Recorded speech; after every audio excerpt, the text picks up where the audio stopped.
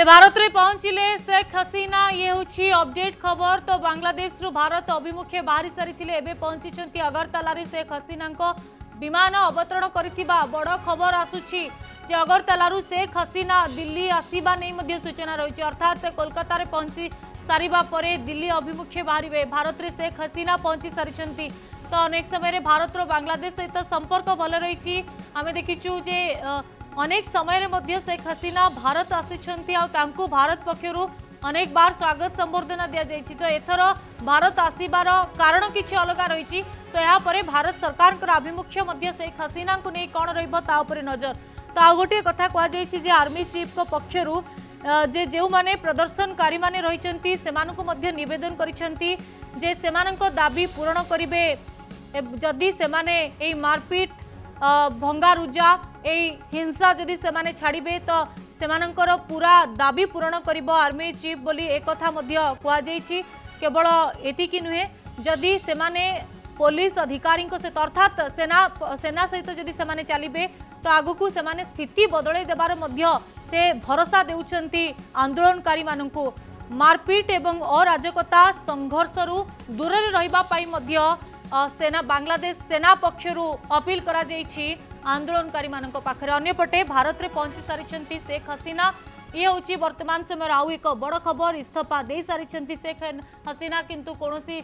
भाव सरकारी भाव से जड़े नाजाए जमापड़ी कि अनेक गणमाम चर्चा अनुसार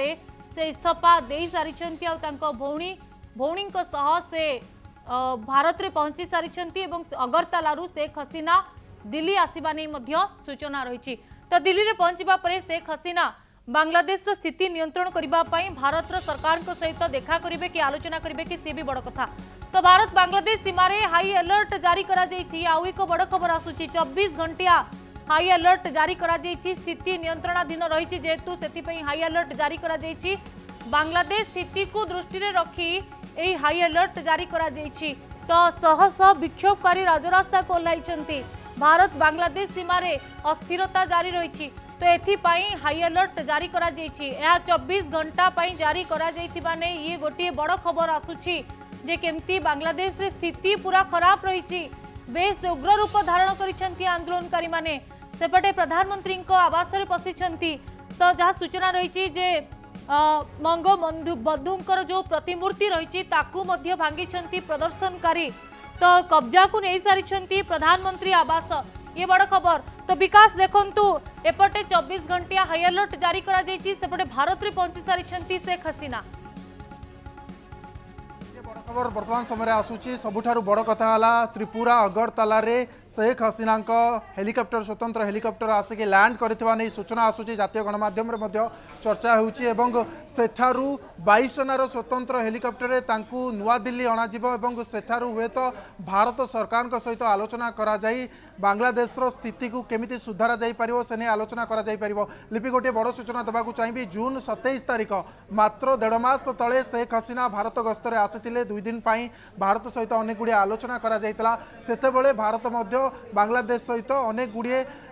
চুক্তি প্রোজেক্ট নেই চুক্তি সাইন করে এবং দুই দেশ মধ্যে সুসম্পর্ক রক্ষা করা অনেক আগামী পদক্ষেপ আলোচনা হয়েছিল মাত্র দেড় মাসর সময়রেখা ভিতরে এত বড় ডেভেলপমেন্ট হব বলে কেউ কেবে আশা করা যাই পারি নথিলা যে শেখ হাসিনা নিজ দেশ ছাড়ি নিজ ভৌণীক সহিত জীবন রক্ষা ভারত শরণরে পশিবাকু পড়ব এবং ভারত টু সহায়তা মাগে পড়ব তো କହିପାରିବା এবে বাংলাদেশর ভবিষ্যৎ